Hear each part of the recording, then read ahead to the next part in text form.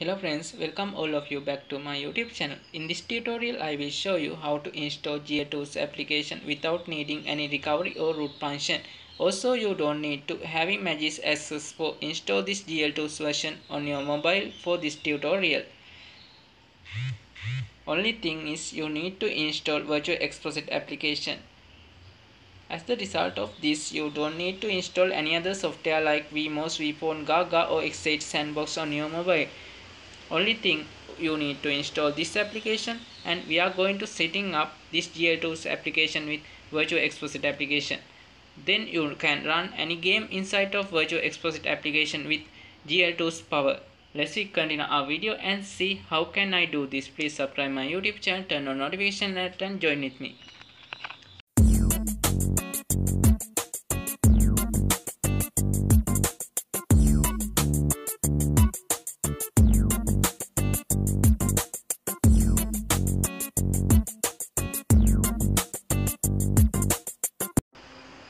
okay friends now you need to download and install this VirtualXposed application in your phone and uh, you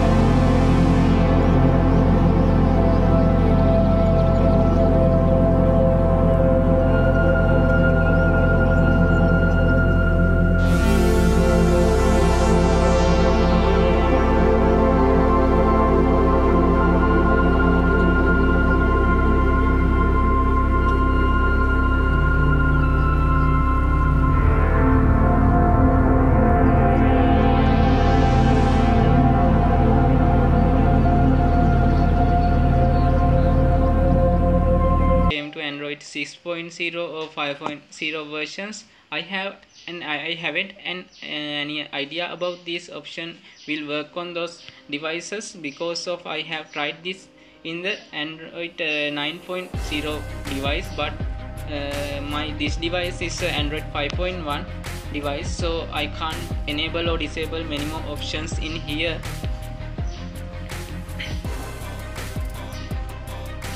so this is the video about how to install GLTools new version in Virtual Exposit application without root access